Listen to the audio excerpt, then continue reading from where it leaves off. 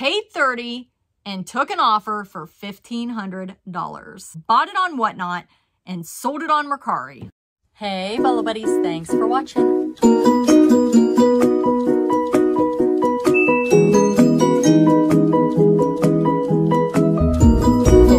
reseller. $600 for a My Little Pony. Amazing, right? All right, let's get started. Hey, Bolo Buddies, thanks for watching. All right, in this video, we are going to talk about big money bolos. What's a bolo? It's an item to be on the lookout for, an item you can hopefully buy low and sell for a profit. In this video, I'm going to tell you where they got it, what they paid for it, and what it sold for. I posted this in my Bolo Buddies Facebook group and invited everybody in the group to share their best bolo in the last 90 days. And they sure did. We are going to check them out here. Some of these are going to be big money, and there may be some that might catch you just a little off guard that you may not have picked up and you may have walked past, which is always a great thing to know. Thank you guys so much for being here. I'm Courtney, also known as Bolo Buddies, and let's get started. The first item says not big money but paid a dollar at the Goodwill and took an offer of $34.99 after 10 days. If you don't know the word anthropomorphic, add it to your reseller voc vocab list now. And that word, I always forget it. I know what it means, but I always forget it. So it's anything, I believe, that has like a face. So like a frog with like a person face or like this is a, um, you are my sunshine, sun face, tapestry, throw pillow. See, it has a face. Anthropomorphic. Anthropomorphic. my goodness, I don't even know what I'm talking about. See, I always have to look it up and I can never remember the word. Anthropomorphic. That's what it looks like. And she sold it for $34.99. All right, this one comes from Bolo Buddies member. That means she is a member of my Bolo Buddies YouTube channel, and she is level two and she gets perks. What does that mean? That means I'm going to shout out her eBay store or her YouTube channel, and I'm going to link it down in the description. So after the video, make sure you go down and check out the description for YouTube channels and eBay stores because these people are big money bolo finders with awesome reseller content and amazing eBay stores. She said, I bought this early, Jim Shore Santa at a thrift store while visiting my sister in Minnesota. I paid a dollar for it and took a best offer of 70 bucks. The buyer paid shipping. It is a Jim Shore um, figure, figurine, and it's uh, signed from the 90s. Hard to find. And um, that one comes from, oh, she didn't put it. Is it Leo's Treasures? I think it's Leo's Treasures. I'm going by memory. I have so many members now that I have to try to keep it all straight, but I'm pretty sure it's Leo's Treasures. And this is what her store looks like. And if it's not Leo's Treasures, it's whatever I pop up here. I'll find it. All right. Pulled out of a dumpster. Had a $15 estate sale sticker on it. Took a best offer. The solds are all over the place. I've sold 13 items this week for $4,500. This sale set it off. Oh my goodness. Pulled it out of a dumpster with a $15 estate sale sticker on it. So I don't know if it didn't sell at the estate sale. Like we can figure out all kinds of stories for this. Like the estate sale clean out guys didn't know what it was worth. It sold for $2,000. So down in the comments, I want to hear your story about this camcorder. Is it a camcorder? I don't know what it is. Paillard Bolex 1951 Switar 25 millimeter, five lenses bundle. It's some sort of like maybe wind up camera or tell me tell me about this in the comments. Somebody make me up a story. I need a really good story. This thing sold for 2000 bucks. Okay, this one comes from Piece of Scrap, and she is a new Bolo Buddies member, and this is her YouTube channel. Definitely check her out. She paid $3.75 at the Goodwill and sold on promotion for $140.33 plus $9 shipping. She said buyer used 10% off coupon and received an additional $14 discount. It is a Vince 100% cashmere sweater medium neutral beige boiled pullover funnel neck. Now she is a, she sells clothing. So you're not going to get clothing from my channel. You will get clothing from her channel and check out those keywords. I mean, boiled and funnel neck. I mean, come on. I just learned something new. I won't remember it. and I don't want to sell clothes, but holy cow, if you're like into clothes, piece of scrap right here. This one comes from Mom Knows Treasures, and this is her YouTube channel. Paid 38 on Whatnot and sold in a week on Mercari for $166. So bought it on Whatnot, and sold it on Mercari. I love it. A day to remember for those who have heart. It is, I believe, a record. And if you guys are not buying or selling on Whatnot, definitely check it out. If uh, you want to buy, there's a link down below. You'll get $15 to shop if you join with my link, but make sure you follow Bolo Buddies because I am selling on Whatnot and I am loving it. And also, um, if you want to sell on Whatnot, which it's super fun, you do have to build up your following. Does it help if you have social media following? Yes, it does. Can you still build a following? Yes. Somebody the other day um, had made the comment that, you know, it's only the YouTubers that do well on whatnot. I don't believe that that's true. I think that anybody can build anything up. They just have to do it. And yes, I do have my viewers coming over and I am able to show the things that I'm bringing to Whatnot by using my YouTube channel. And yes, that does help me. But you guys, I worked from my, from the bottom and worked my way up. I didn't like get here overnight. I've been at this for over four years on YouTube. Four years. Do you know how long it was before I actually started to get a following and starting to get started to get ad revenue that actually paid for my time. Like still, I'm not even sure if I was putting all of my time into eBay that I'm putting in YouTube. Like, I don't know. It's, it's definitely, YouTube is a lot of work. It's hard work. And there's a lot of people that say to me, I want to do YouTube. And I'm like, you totally should because it's awesome and it's fun. But please keep in mind that the time that you spend on YouTube is going to be time away from your eBay store your other platforms, your whatnot, whatever else you're doing. So now I'm doing whatnot. So now I'm like rebalancing. You know what I mean? I haven't listed for like a week on eBay and I'm like going through listing withdrawal. Like I love to list and I finally got my fix, my listing fix. Isn't it weird that like I love to list? Most people are like, I hate listing. I absolutely love listing, but I was really hitting whatnot hard and I love it. And, um, so yeah, I'm finding the balance, okay? So um, anyway, if you want to sell on whatnot, there is a different link down below and you can use that link to, um, if you click on that, it's a referral link that will take you to a page to sign up to sell and it tells them that I sent you and you may get accepted quicker if you use that link. So that's down below also. This one comes from Abigail's Artful Abode, who is also a Bolo Buddies member. And she said, bought this for uh, this 1950s bottle brush reef for $2 at a garage sale and sold it for $65 on, uh, is that Etsy or is that eBay? I think it's Etsy. Looks like it's on Etsy. She's a big time Etsy seller. So it's a bottle brush reef. That is awesome. This one comes from Piece of Scrap, and oh my goodness. Uh, these are Crocs, you guys. $4 at the Goodwill, sold on promotion for $77.01. If this doesn't make you want to go follow this girl, I don't know what will. Star Wars Crocs, men's size 4, women's size 6. How awesome is that? This one comes from The Quiet Thrifter. This is her eBay store. I bought this for $2 at a garage sale. I had no idea what it was, but I thought it was beautiful folk art. Folk art. I put it on a 10-day auction and it sold for 66 plus the buyer paid shipping. It's a vintage hand-painted Mexico folk art wood. I don't know what that word is. San Miguel Archangel. This is what it looks like. Paid 30 and took an offer for $1,500. This one comes from 360 Vintage Co. Vintage Co. And this is what it looks like. It is a vintage um, Magnolene Motor Oils double-sided metal sign. $1,500. Paid 30 for it. Oh my goodness. And he makes beautiful jewelry, so definitely go check out his store. Paid $80 from Donatella Bottolino's YouTube auction and sold overnight for full price.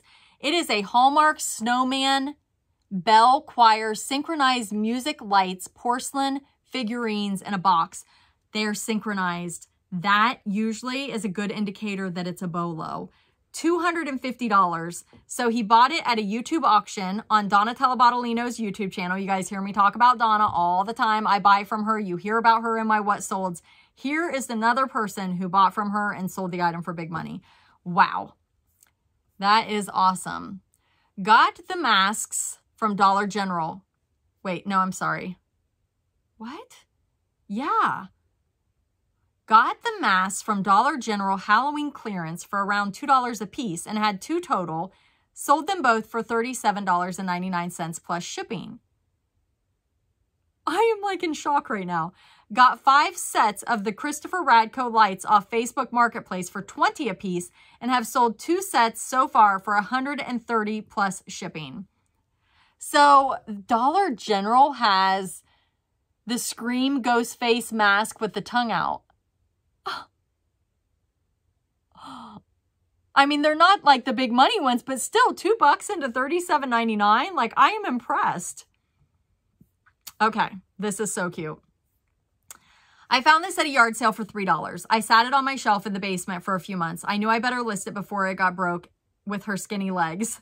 Two people asked if the ribbon was hiding any repairs because apparently they came without ribbons. No chips or cracks, which is amazing to me. $3 into 91. I'll take that any day. It's a mid-century modern deer figurine made in Japan, and it is awesome. I bought this at an estate sale for $30. The picture of the item pre-sale listed about six marbles of German sulphide, which many are old and worth a lot of money. So when I went, I grabbed three, this one being the biggest of two and three fourths with a Native American and headdress inset in, in the marble. What? It's a marble? After researching at home, I realized this was not a German sulphide, but contemporary since the headdress was not part of the sulphide typical inserts. I listed anyway, bidding starting at 50, hoping to just get my money back. Had a bidding war and ended up selling for 393 because there's not another one like it, and it was just the right buyer. It reminded her of her uncle that recently passed away. He collected marbles and also collected Native American items. Wow, a marble. A marble. I'm like, that's incredible. Found these pencils at my local Goodwill. They were in a display case by the register, which I rarely look at. The pencil box looked vintage, so I asked to look at them. Saw all the pencils were in there and all were unsharpened, so I bought for $4. These were unusual, had brown shafts instead of yellow, put them on auction starting at $175 and the winning bid was $233.99. I received positive feedback which sealed the deal and these were a great bolo. Awesome. Yes, vintage, pen vintage pencils for sure. I bought this from a friend that was cleaning out her closet. I never even heard of this brand, Johnny Was, until I started watching Bolo Buddies on YouTube. Yay! I paid $10 and my asking price was $229. I accepted a $200 offer. I may have priced it too low. I'm still learning, but I was happy with the $200 and this is what it looks like. So I have never ever sold a Johnny Was item, but I have talked about it and I have talked about it because many of you have talked about it and I have featured your bolos. So that is what I love about featuring other Bolo items because I don't sell some of these things. I don't do clothing, but I still can bring it to you through other people and we can all learn together. And that's how she learned about this. So that is awesome. Bought for $6.99 at the American thrift store for about six months ago. It took me longer to list due to traveling. It didn't take long to sell it through, probably a month. I also took a best offer of 75 plus shipping. They are vintage kike K-I-K, girl pants, women's size small, made in the USA, 90s TLC. This is what they look like. I'm new to this hobby, but I found the pair on the side of the road for free and just sold Santa alone for 80 bucks. I'm loving this. Also learning the ropes of eBay. So they're blow molds, Christmas blow molds, definitely a bolo. My first exciting sale was a vase. I bought at a yard sale for a dollar. I did what you said and started it on auction and I put it at a buy it now for a hundred and somebody offered me 60. It's a clay vase and it does have a signature on the bottom, but I couldn't make it out who it was. I'm also making good on an old Nintendo DS games that my adult children had when they were kids. And so it shows $25, but it's actually sold for 60. This one comes from Bolo Buddies member Trading Post Pickers. This is their YouTube channel. Picked up six rolls for $10 at a local thrift store. These three, $5 each, sold for 141 plus shipping within 24 hours. It's foil Christmas department store gift wrap. How awesome is that? And uh, Noelle Farm Girl Scavenger has uh, sold this foil Christmas wrap. And um, it was a while back, but oh my goodness, hers sold for crazy money. But she had like the big department store rolls that were like massive. These look to be a little bit smaller, but a fantastic buy for sure. Trading Post Pickers. This one comes from Franklin Hill Ventures, and he is over on Whatnot selling a lot. So he's kind of put YouTube to the side for now. So go follow Franklin Hill Ventures on Whatnot. But he also has booths, like a flea market booth that you, you know, the booths. Anyway, he said paid 25 at a yard sale for this print of the Mabry Hazen House, which is in Knoxville. Sold in my West End antique booth, antique booth, that's what it's called, for 125 and this is what it looks like. Got this for $5 at a yard sale over the summer. Thought it was just a Sega Genesis. And upon research, it's a rather rare gaming console. Needed to purchase a power cord for about seven. And this is what it looks like. It is a JVC X'Eye console with controller, games great condition. $430 for that. Don't know if this qualifies since this was among the boxes and boxes in the attic. When I listed it and sold it on Mercari, oh wait, when I listed it and sold, try again. When I listed it and Mercari told me I should list it for well over 200, I was way too skeptical. So I timidly listed it for 220. I turned down several offers of 100, 250, but took the first offer of 200. I had waited, if I had waited, I probably could have gotten my full asking price, but being a new seller, I was completely satisfied. It's a Pokemon Soul Silver version figure bundle for DSCIB includes. I don't know, but that's what it is. I will tell you on Mercari, the suggested value and eBay, I don't go by that. Like if it's higher than what I was going to list it at, I definitely, it's like, you know, I'm going to look it up. But always, always search solds because you just never know. But that sold on Mercari. This here, I uh, bought this ugly sweater at a garage sale for $2. The brand is Just Better Sweater by Lisa Kaufel. As soon as I listed it, I received a $200 offer. I let the auction run and sold the sweater for $299. It is this right here. It looks like it's a nativity scene. Pick this up for free in a box of items someone set out for a giveaway. Sold on Thanksgiving Day for asking price of $80. It's a vintage four-piece set of Lena Liu's Hummingbird Treasury Collector, and this is what it looks like. Okay. This one comes from Follow Me for Fantastic Finds, and this is her eBay store.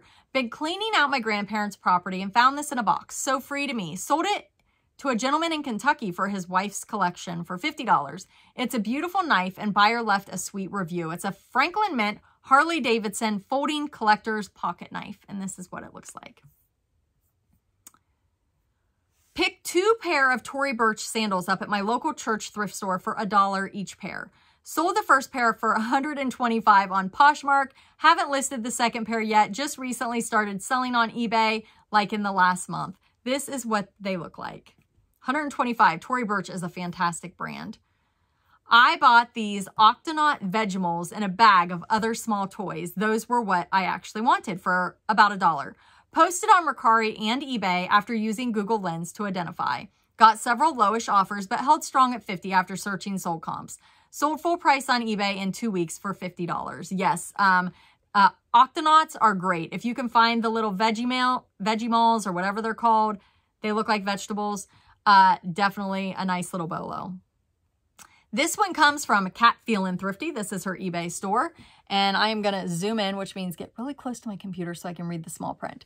It is a Henry Bendel, and I have sold this brand, New York Star rhinestone necklace. Purchased a lot of jewelry from Donatella Bottolino. Um, that's her YouTube channel, Donatella Bottolino. If you don't know, head over here. She sells to resellers, and I buy from her, and she is incredible. But you guys hear me say that all the time. Um, Took a best offer of 30 plus shipping. Should have held out for full price, but I will in the future. Um, $38 is what she had it listed for and took 30. Now, Henry Bendel is a fantastic brand. Some of it goes for big money. If you see that brand, definitely look it up. I think they make purses and other things too. Um, but yeah, definitely be on the lookout. This also came from Donatella Bottolino's jewelry. She said, I have cents in this, like cents as in like pennies. Uh, chain only, took a best offer of 27 plus shipping. And the chain says vintage uh, Tiffany and Company necklace. And it's just the chain. And this is what it looks like. All right, we have one here. And this one comes from Stellar Seller Sam YouTube channel. This is what it looks like. She said, I dug these Ninjago Lego characters out of the bottom of the Goodwill bins. That's my kind of girl, digging those toys out of the bins. Paid cents for them. Again, pennies. They sold for 37 on auction and they paid the shipping. And this is what it looks like. And that's it, guys. That completes all of the bolos for this video. What did you think? Which one was your favorite? Tell me if you learned something new. Thank you so much for being here. Let me know how you found the channel. Leave me an emoji of anything, your favorite emoji. Drop it in the comments. And be sure to like, comment, subscribe, and share. And thanks for watching.